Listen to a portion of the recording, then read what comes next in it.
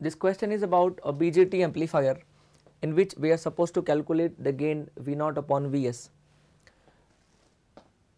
And in this circuit input signal is given towards base, base is the input terminal and output taken from collector, collector is the output terminal and emitter node is grounded.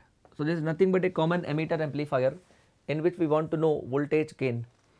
And in this common emitter amplifier there is a resistor of 47k between output terminal collector and input terminal base.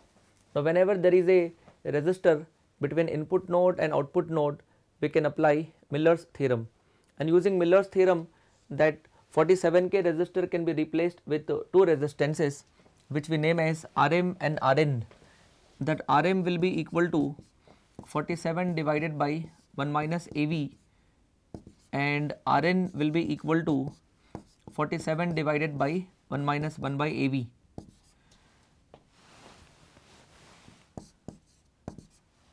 Now this is a common emitter amplifier wherein AV will be quite large. So 1 by AV can be neglected. If you neglect 1 by AV it becomes approximately 47k. So with the help of Miller's theorem the same circuit can be redrawn wherein 47k resistor will be replaced with Rm and Rn. Then this circuit I can redraw as Rm will be shown between base and ground and Rn will be drawn between collector and ground that Rn is equal to 47 kilo ohm. And then we can obtain gain of this amplifier V naught by Vs will be equal to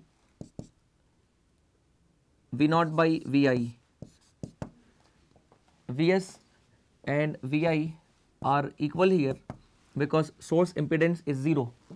So, we can take V naught by Vs same as V naught by Vi and that V naught by Vi for this common emitter amplifier is written as minus HFE into RL dash divided by HIE.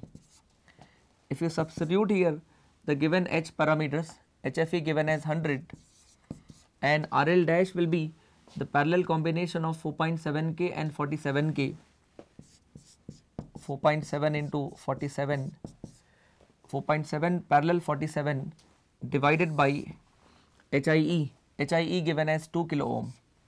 If we calculate this gain it will evaluate to approximately minus 213. So, for this question voltage gain can be taken as minus 213.